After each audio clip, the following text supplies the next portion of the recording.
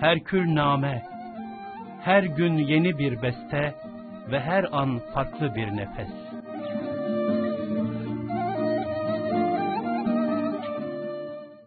Belki ilahi ahlak olarak bizim de herhalde öyle bir ahlak ile ahlaklanmamız icap ediyor. Yitirdiğimiz şeylerden bir tanesi de odur. Huluku Kur'an denen Kur'an ahlakı onunla mütekallik olamama. Hulukur Resul sallallahu aleyhi ve sellem ve inneke lehala hulukin azim tebcil, takdir bir yönüyle şanının yüceliğini bize duyurma adına Allah Celle Celaluhu ona hitap buyururken ve inneke ala hulukin azim çok yüksek bir ahlak üzerindesin. Detayına girilir de ben burada girmeyeceğim. Ahlak nedir? Halk nedir? Huluk nedir? Aynı kökten gelen şeyler. Halkın ge- gerçek derinliğinin esas huluk buğutlarıyla arzu edilen ufka ulaştığı meselesi üzerinde daha farklı şekilde durulabilecek bir konu. Ama bize düşen şey ona yakışır şekilde esasen merhametli, şefkatli olmak, herkese bağrını açmak, sövenlere sövme ile mukabelede değil, Allah'ın kalplerimizi ıslah ile tazarru ve niyazında bulunarak mukabelede bulunmak, dövenlere el ile mukabelede bulunmak değil de, keşke azıcık yumuşatsalar da el uzatsak, destek olsak falan şeklinde mukabelede bulunma bize talim edilen ahlakı Kur'an'ı bu. Buna tam riayet etmiş miyiz bilemiyorum onu. Öbür tarafa gittiğimiz zaman da niyetlerimizle, korteksimizde olan mülahazalarla, nöronlarımıza işlemiş olumsuz şeylerle, bütün mahiyeti maneviyemiz orada deşifre edilecek, gözümüzün önünde serilecek. Belki işte orada bir hak dostu gibi arsayı mahşerde kırılır mizan falan diyecek. Acaba bir sıyrılma yolu var mıdır diye sağa sola hayret, dehşet, kalak, ızdırap içinde vaka kalacağız. Evet, mülayemet ve şefkat insanlara karşı. İnsan, insan olarak yaratılmış bir değerler mecmuasıdır.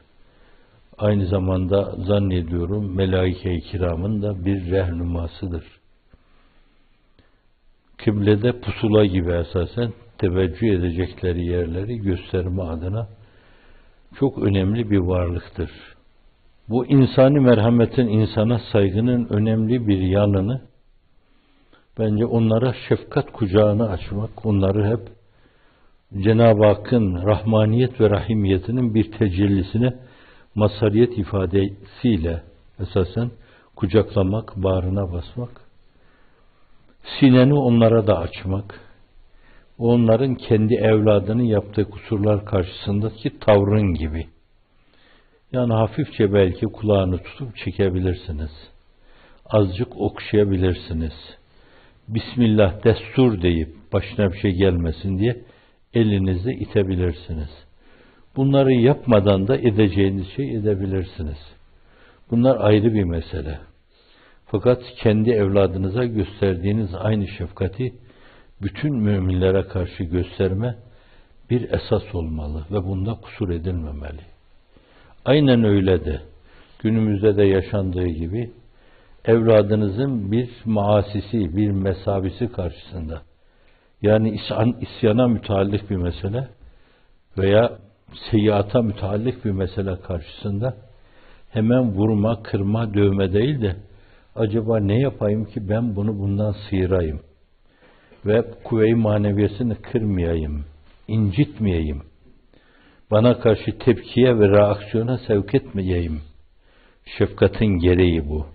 Ve şefkat sizin mesleğinizde, hakkı ikame edenlerin mesleğinde ruh abidelerini ikame etmeye kendine adamış insanların mesleğinde dört esas, iki detaylı düstur var. Esas düsturdan bir tanesidir. Der tariki aczimendi lazım olmet çağrı çiz, aczi mutlak, fakri mutlak, Şükrü mutlak ey aziz.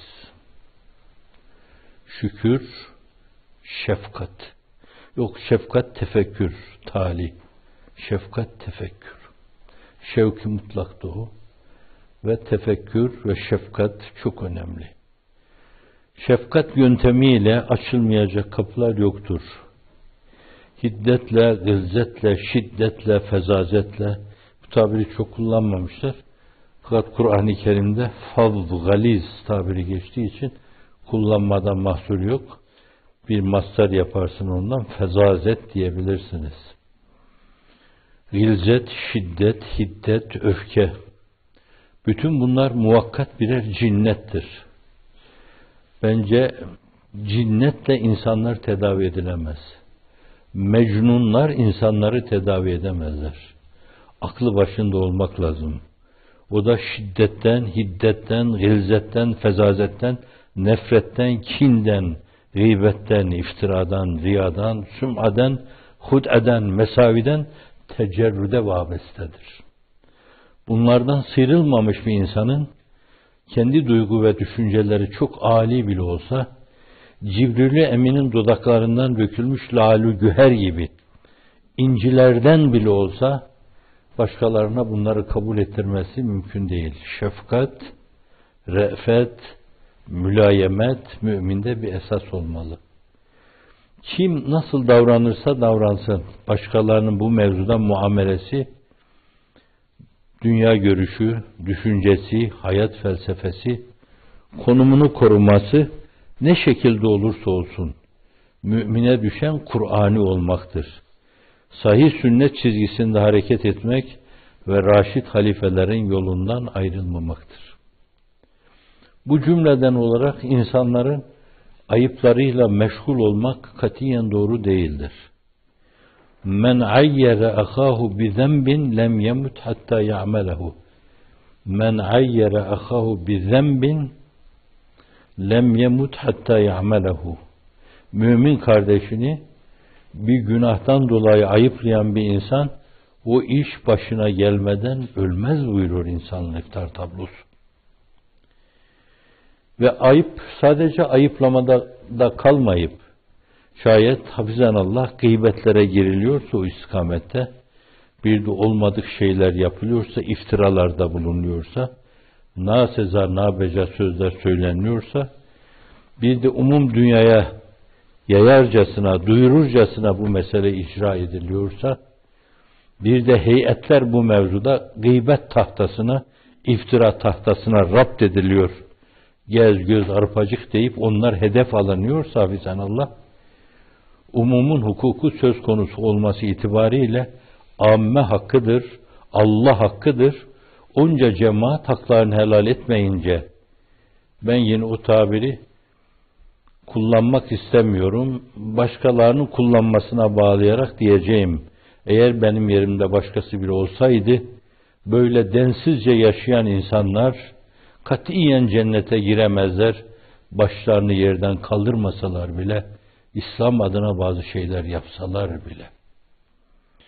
Koskocaman camiayı kendini Allah'a adamış, dünden bugüne, dün belki sadece ehli ilhat yapıyordu.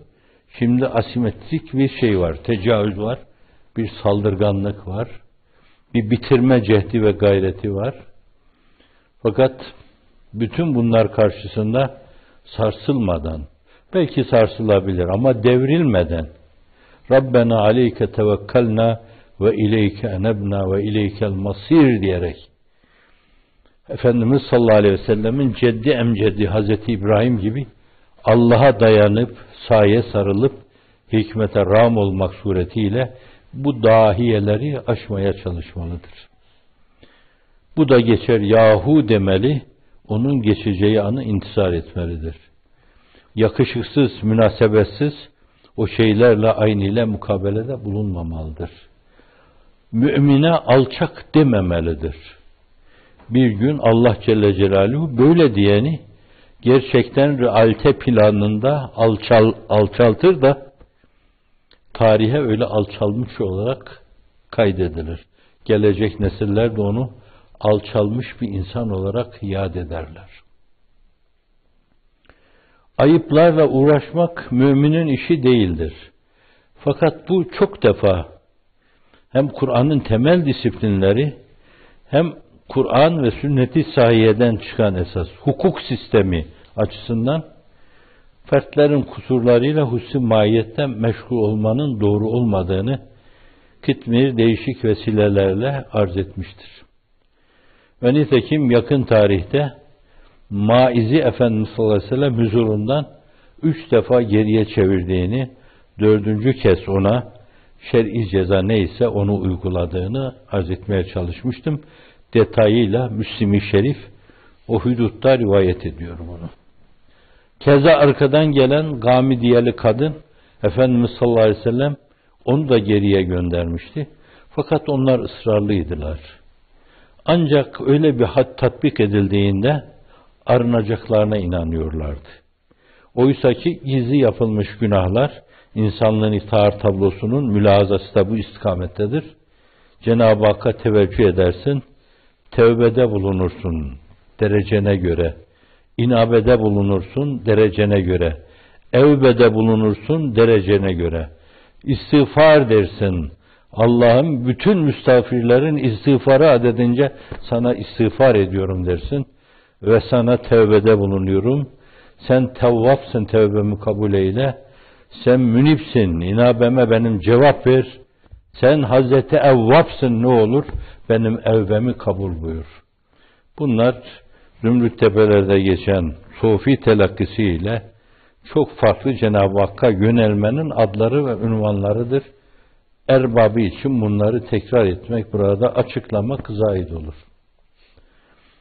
Şahsi günahlar karşısında yapılması gerekli olan şey, istiğfar, tevbe, evbe ve inabedir. Fert bunu yapar. İnşallahü Teala Cenab-ı Hakk'ın lütfuyla, keremiyle, rahmaniyetiyle, rahimiyetiyle arınmış olur onlardan. Tevbe bir arınma kurnasıdır. Böylece tertemiz olarak Cenab-ı Hakk'ın firdevsiyle serfiraz olabilir. Fakat bazı cinayetler vardır ki bunlar umumun hukukuna tecavüzler oluşmuş günahlardır bunlar.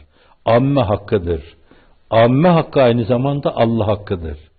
İster İslam'ın hukuk sistemi, istersen modern hukuk sistemi, amme hakkına taalluk eden meselelerde katiyen müsamahaya gidemezler. Umumun hukuku söz konusudur. Umuma ait şeyler çalınmış, çırpılmışsa bunu ne mecelle kurallarıyla siz şöyle böyle yumuşatabilirsiniz ne de başka demagojilerle ve diyalektiklerle. Amme hakkıdır bu. Umumun hukukuna tecavüz edilmişse bir tek arpa, umum milletin hakkı ise, o yenmişse, o mevzuda birisi göz yumuyorsa, o da o haramilerle müşterek demektir. İşte orada göz yumulamaz. Burada bu göz yummama mevzuunda esas budur. Temel budur, usul budur. Fakat üslupta hata yapılabilir. Üslup vardır bu mevzuda. A'ya demek, B'ye demek, C'ye demek, bilmem H'ye demek. Üslup vardır. Fakat hiçbir zaman usul ve esas üsluba feda edilmemelidir. O mesavinin üzerinde durulmalı.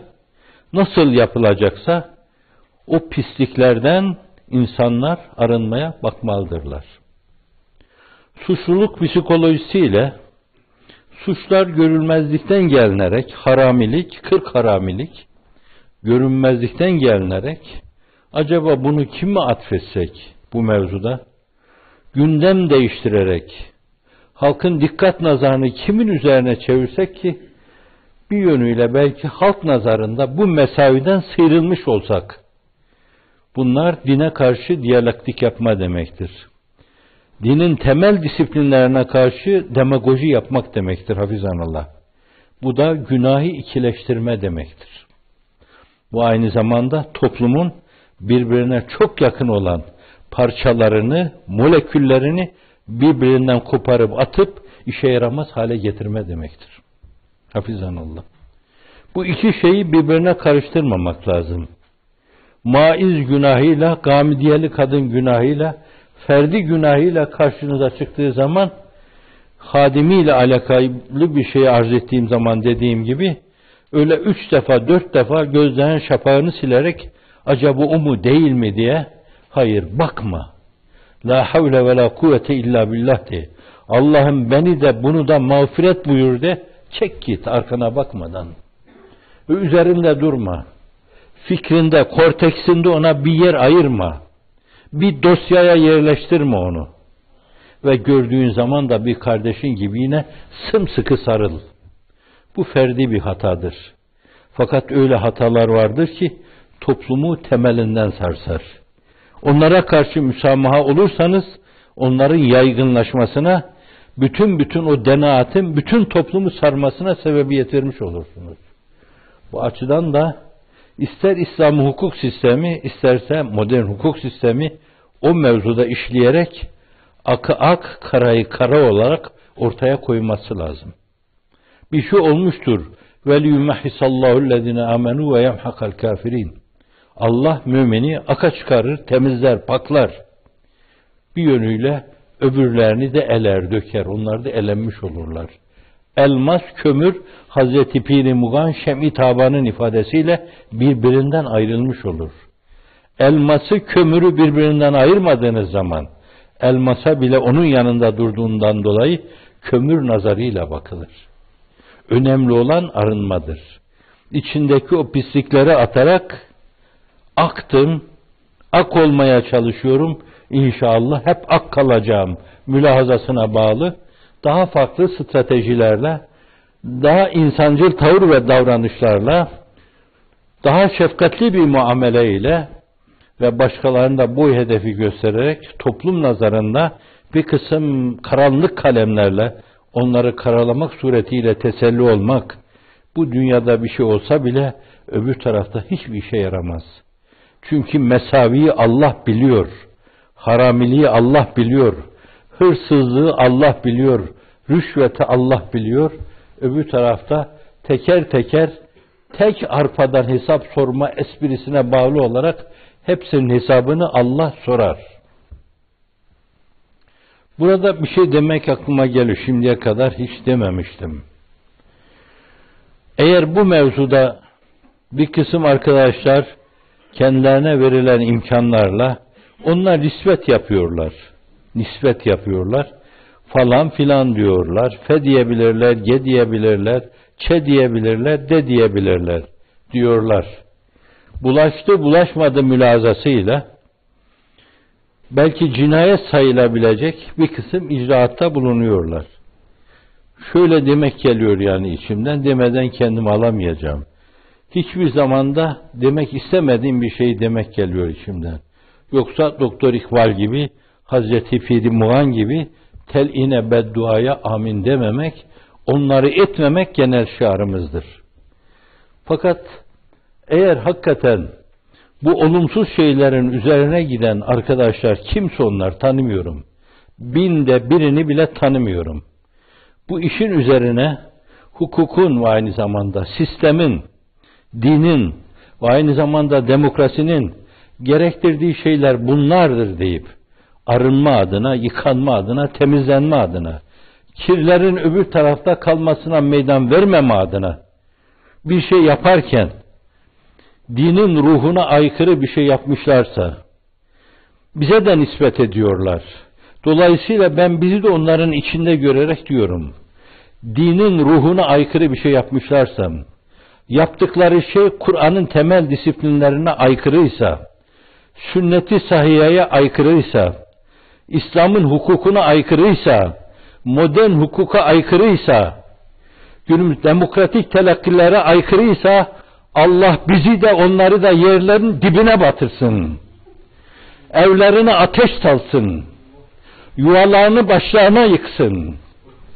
Ama öyle değilse hırsızı görmeden hırsızı yakalayanın üzerine gidenler, cinayeti görmeyip de masum adamlara, insanlara cürm atmak suretiyle onları karalamaya çalışanlar, Allah onların evlerine ateşler salsın, yuvalarını yıksın, birliklerini bozsun, duygularını sinelerinde bıraksın, önlerini kessin, bir şey olmaya imkan vermesin.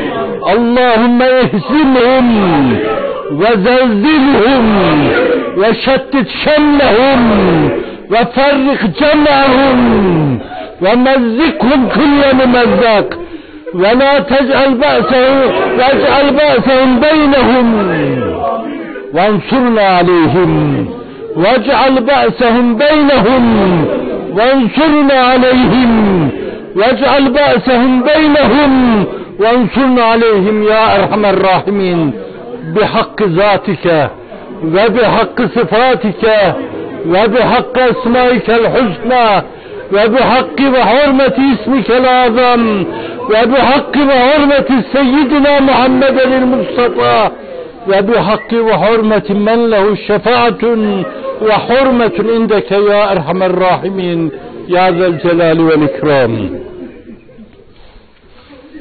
dememiştim. Demeden edemedim.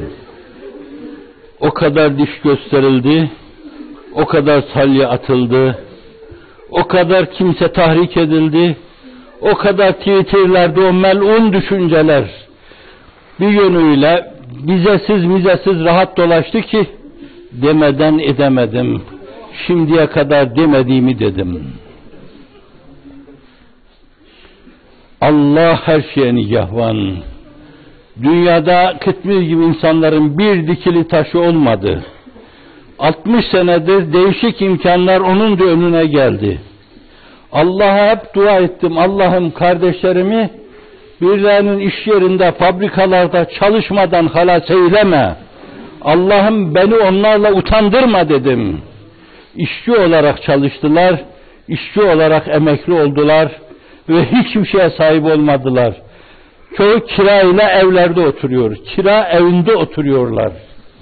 Kendi adıma da öyle düşündüm, onlar adımına da öyle düşündüm. Cami penceresinde üç sene yatarken esasen, işte o dünyanın metaına temas etmemek için, altı sene bir tahta kulübede döşeksiz yatarken, dünya malum menaline meyletmemek için aynı şeyleri yaptım. Allah buna şahit. Ama başka türlü haramilik yapıp, milletin malına, menalına el uzattıkları halde, hala Müslüman olarak görünüyorlarsa, öbür tarafta neyin ne, ne olduğu belli olacaktır. Hakkınızı helal edin. Gönül çalabın tahtı, çalap gönüle baktı. Kim gönül yıktıysa o iki cihan bedbahtı. Bir sürü müminin gönlünü yıktılar. Kendimizi de istisna etmedim. Haksız kimse o mutlaka cezasını bulacaktır. Esselamu